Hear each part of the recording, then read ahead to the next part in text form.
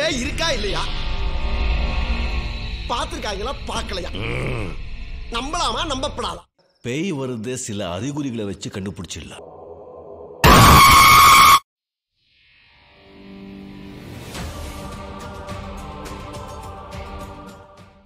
பேய் இருக்குன்னு நம்புகிற கூட்டம் எந்த அளவுக்கு இருக்கோ அதே அளவு பேய் இல்லைன்னு சொல்கிற கூட்டமும் நிறைய இருக்குது இப்படி தான் ரொம்ப வருஷம் முன்னாடி அமெரிக்காவில் பேயெலாம் இல்லைன்னு ப்ரூவ் பண்ணுறதுக்காக ஒரு பையன் இந்த பேயெல்லாம் கண்ட்ரோல் பண்ணி வச்சுருக்க ஒரு மியூசியமுக்கு போகிறான் அங்கே ஒரு கண்ணாடி பெட்டிக்குள்ளே வச்சுருக்க ஒரு பேய் பிடிச்ச டாலை பார்த்து நீ பேய் இல்லை நீ சும்மா உன்னை எல்லாரும் பேய்னு சொல்கிறாங்க ஆனால் நான் நம்ப மாட்டேன்.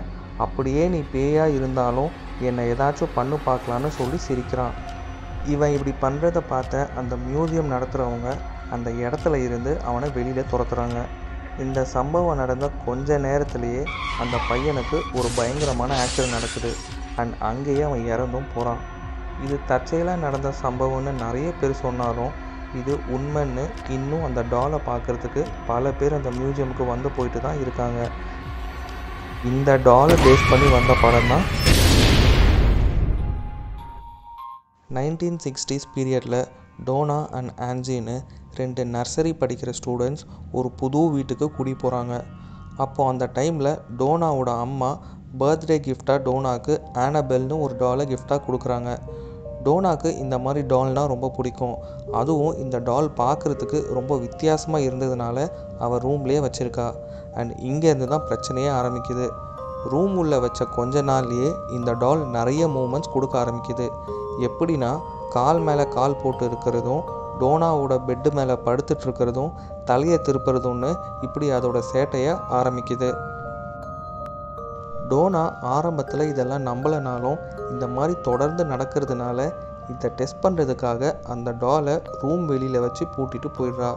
அவள் திரும்பி வந்து பார்க்கும்போது அவள் ரூமில் அந்த டால் பெட்டில் படுத்துட்டு இருந்துச்சு அது மட்டும் இல்லாமல் அந்த டாலில் இருந்து ரத்த வரதையும் பார்த்து ரொம்ப பயந்து போகிறாள் உடனே அவன் ஃப்ரெண்டு ஆஞ்சி கிட்டேயும் அண்ட் ஆஞ்சியோடைய பாய் ஃப்ரெண்ட் லூ கிட்டேயும் இதை பற்றி சொல்கிறான் அந்த லூ டாலை பார்த்ததுமே இது ரொம்ப விசித்திரமாக இருக்குது இந்த டால் உள்ள ஏதோ இருக்கிற மாதிரியே தோணுது. அதனால் இந்த டாலை தூக்கி போட்டுருவோன்னு சொல்கிறான் ஆனால் டோனா இது எங்கள் அம்மா எனக்கு வாங்கி கொடுத்தது. என்கிட்டயே இருக்கட்டும்.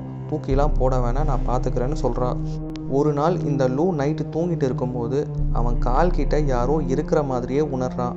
அவன் பெட்ஷீட்டை எடுத்துகிட்டு பார்க்கும்போது அவன் கால்கிட்ட அந்த டால் அவனை முறைச்சி பார்த்துட்டு இருந்தது.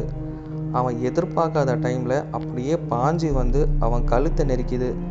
அவனால் கை கால் உடம்பை எதையுமே அசைக்க முடியல. அண்ட் கொஞ்ச நேரம் போராடி அப்படியே மயக்கமாயிடுறான். கனவாக தான் இருக்கும்னு நினைக்கும் போது கண்ணாடியில் அவன் கழுத்துக்கிட்ட நகத்தை வச்சு கீர்ன ஒரு மார்க்கை பார்த்து பயந்து போய் டோனா அண்ட் ஆஞ்சிக்கிட்ட இதை பற்றி சொல்கிறான் இதுக்கு அப்புறமும் நம்ம இதை விளையாட்டாக எடுத்துக்கிட்டா வேலைக்காகாதுன்னு பேய் ஓட்டுறவங்க கிட்ட போய் ஹெல்ப் கேட்குறாங்க அவங்க தான் எட் அண்ட் லொரேன் அண்ட் ஃபேமஸான வாரன் கப்புள்ஸ் இந்த வாரன் கப்புள்ஸ் வந்து பார்த்ததுமே இருக்கு. இங்க ஒரு பிரச்சனை இருக்கு. அவங்க பல வித்தையை பண்ணி அந்த ஆனபெலோட விஷயத்த கண்டுபிடிக்கிறாங்க. ரொம்ப வருஷம் முன்னாடி இந்த வீடு இருக்கிற இதே இடத்துல ஆனபெல்னு ஒரு ஏழு வயசு பொண்ணு இறந்ததாகவும் அந்த பொண்ணோட ஆவி தான் இந்த டாலில் போய் இந்த வேலையை பார்க்குதுன்னு வாரன்ஸ் கப்புள் சொல்கிறாங்க இது இப்படியே விட்டால் உங்கள் உயிருக்கு ஆபத்தாக வரலாம்னு இந்த டால் இதுக்கப்புறம் நாங்கள் பார்த்துக்குறோன்னு அங்கே இருந்து எடுத்துகிட்டு போயிட்டு அவங்களோட மியூசியமில் வச்சு பல மந்திரத்தை ஊதி ஒரு கண்ணாடி பாக்ஸில் வச்சு மூடிடுறாங்க. ஸோ இதுதான் ஆனபெல்லோட ஃபுல் ஸ்டோரி இந்த ஆனபெல்ன்ற பேர் படத்துக்காக வச்சது.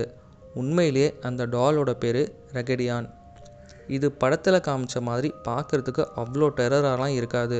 ரொம்ப சாதாரணமாக இருக்கும். அண்ட் இந்த கதையிலிருந்து எடுத்த படம் வெறும் பத்து பர்சன்ட் தான் உண்மை.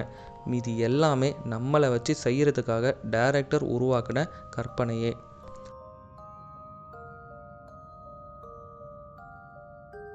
ஸோ அவ்வளோதான் இந்த ஆனபெல் ஸ்டோரி கண்டிப்பாக உங்கள் எல்லாருக்கும் இன்ட்ரெஸ்டிங்காக இருந்திருக்கும்னு நம்புகிறோம் அண்ட் தொடர்ந்து இந்த மாதிரி நிறைய இன்ட்ரெஸ்டிங்கான வீடியோஸ் பார்க்க நம்ம சேனலை ஞாபகமாக சப்ஸ்கிரைப் பண்ணுங்கள் அண்ட் ஃபைனலி இந்த வீடியோ பிடிச்சிருந்தா லைக் ஷேர் அண்ட் கமெண்ட் பண்ணுங்கள் தேங்க்ஸ் ஃபார் வாட்சிங்